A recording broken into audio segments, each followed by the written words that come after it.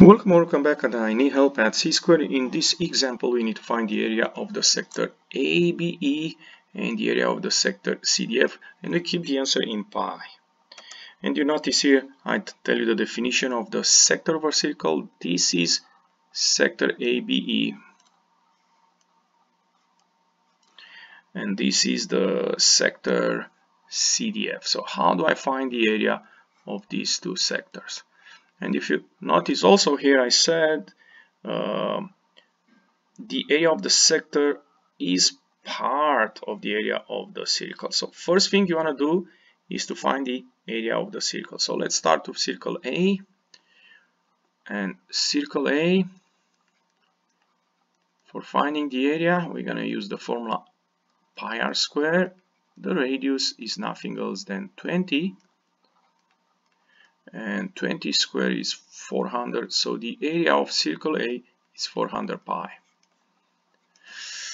And now we can go and find the area of the sector and for that reason I'm going to look to this angle of 60 degree. 60 degree which is the uh, central angle of this uh, sector is one sixth of the whole circle which is 360 degree or 360 divided by 6 and if you notice this pattern then for finding the area of the sector so the area of the sector AB you don't have to use proportion.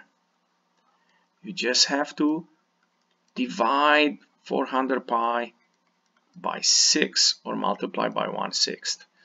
And in this case we can simplify both of them are even numbers so we can simplify by 2 400 divided by 2 is 200 so 200 pi and 6 divided by 2 it's 3 so the area of the sector ABE is 200 pi over 3 and I will keep the answer in this format. Nothing else can be simplified.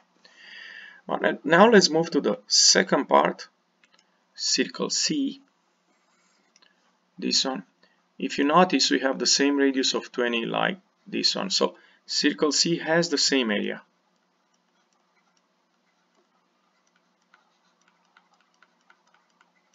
which is 400 pi. And now we look into this angle, central angle of 72, 72 degrees, okay, and um, we want to see uh, what should I divide by 360 to get 72 and what, should, what, I, what fraction I should multiply 360 to get 72 and that is 1 fifth or divide by 5 and if you notice this then uh, the area of the sector will be very simple. Other than that you have to use proportion so the area of the sector CDF will be 400 pi. The area of the circle divide by 5 or multiply by 1 fifth. And that will be 80 pi.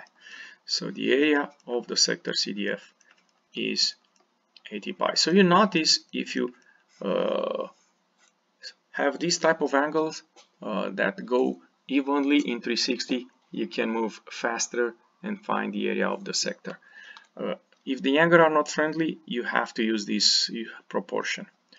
If you enjoyed this video clip, don't forget to click the like button and come back on C-Square for more help. Thank you.